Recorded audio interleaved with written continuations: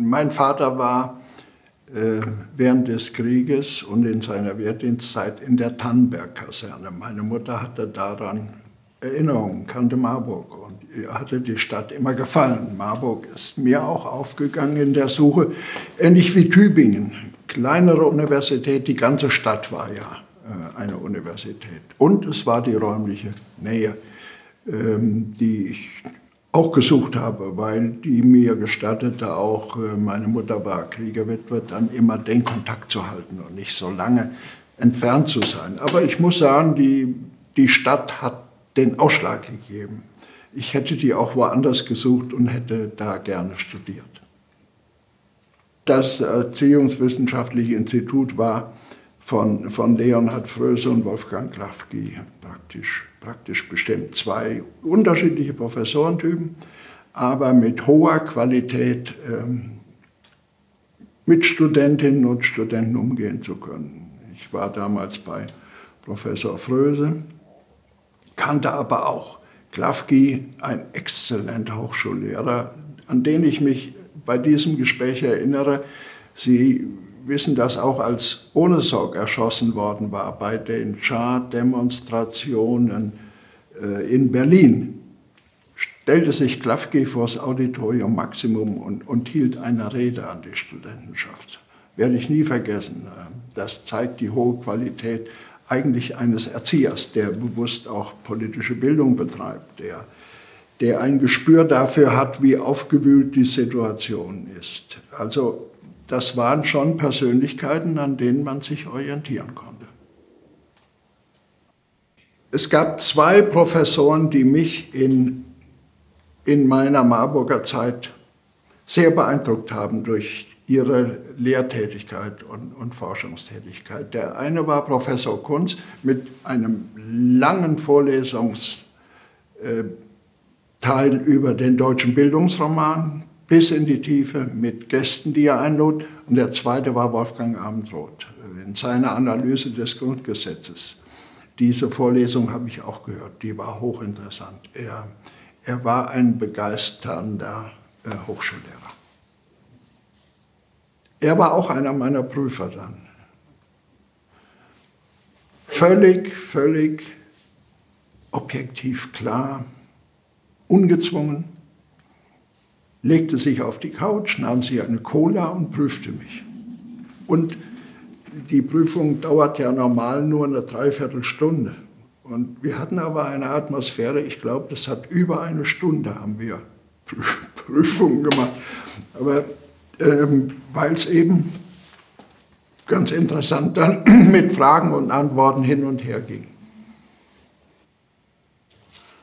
Der Liberale Studentenbund und das war damals besonders Klaus Horn, ähm, mit dem ich mich später angefreundet habe, hatte eine sehr aktive Deutschlandpolitik betrieben. Sie müssen sich damals die Situation vorstellen, Diskussion über Oder-Neiße-Linie, wie soll man mit der DDR umgehen. Und der war sehr aktiv und sehr offen. Er hatte den Volkskammerpräsidenten der DDR eingeladen. Das war äh, ein, ein kleiner Schock äh, auch für die Bevölkerung. Das äh, fand dann in Marbach statt. Da gab es Gegendemonstrationen der Burschenschaften. Das heißt, es wühlte etwas auf. Ich war daran sehr interessiert, weil ich immer für Außenpolitik und, und für Geschichte mich interessiert habe und habe dann Klaus Horn einfach angesprochen auf der Mensabrücke. Ähm, dass ich gerne zum Liberalen Studentenbund, aus, aus, vor allem aus diesen Gründen kommen würde. Das habe ich dann auch gemacht und so begann dann eigentlich studentisches politisches Engagement. In der Deutschlandpolitik, ähm, das ist auch mehrmals von denen ähm, in Zeitschriften beschrieben worden, waren wir eine fortschrittliche FDP. Wir waren mehr auf einem Kurs, der später ja dann auch in die Koalition mit, mit Willy Brandt führte, also die Scheel-Brandt-Konstellation.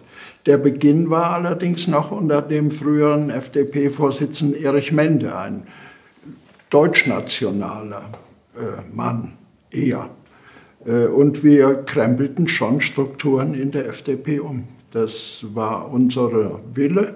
Und wir waren da auch sehr engagiert und der Kreisverband Marburg, in den ich dann eingetreten bin, war da mit an der Spitze auch in, in Hessen. Bis zu einem Wechsel, der uns dann zu Wolfgang Mischnick brachte in Hessen, der ja auch eine sehr moderne Deutschlandpolitik äh, betrat. Und zu Gästen, die ich dann eingeladen habe, Werner Mayhofer zum Beispiel, auch Ralf Dahndorf. Das waren ja Persönlichkeiten, an die wir uns dann einfach gewandt haben in diesem Wandel.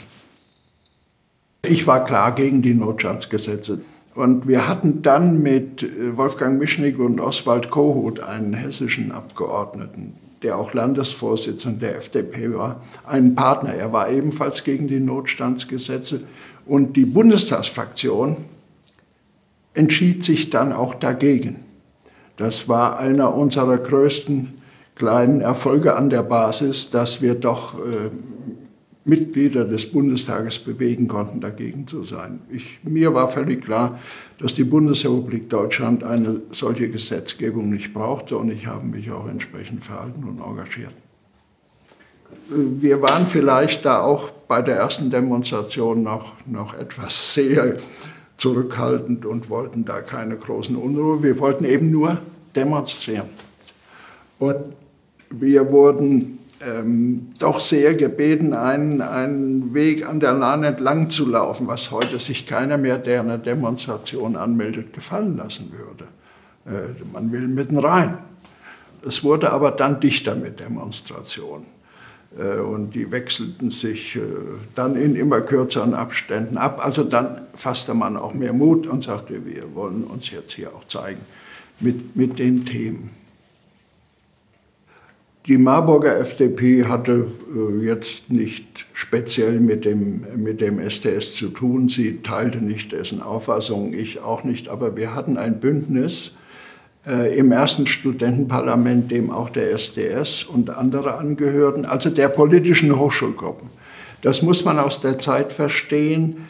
Die Kontroverse lief zwischen politischen Hochschulgruppen und Burschenschaften. Das kann man sich heute gar nicht mehr so so vorstellen, aber wir haben äh, im Studentenparlament nach Partnern gesucht, mit denen wir verhindern konnten, dass äh, sehr konservative Burschenschaften dort äh, mehrheitlich vertreten waren. Das war ein, ein richtiger Wahlkampf innerhalb der Studentenschaft damals. Im Übrigen durch die Arbeit im Studentenparlament, an der ja auch ähm, Kollegen teilgenommen haben, denen ich später in der Politik begegnet bin. Nehmen wir Fritz Bohl, den späteren Kanzleramtsminister bei Helmut Kohl, Bernhard Zelzer im, im Europaparlament und viele andere, denen ich begegnete.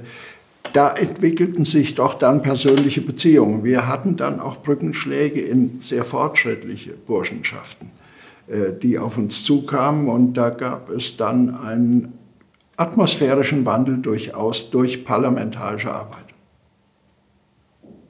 die, die Impulse für, für politisches Engagement in, in politischen Themenbereichen habe ich damals herausgebildet, wie auch immer.